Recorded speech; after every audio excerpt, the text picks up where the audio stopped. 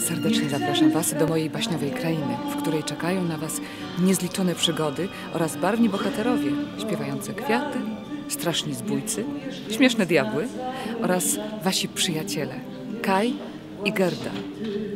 I zapraszam, zobaczcie ich przygody, w których miłość i przyjaźń zwycięża wszelkie zło.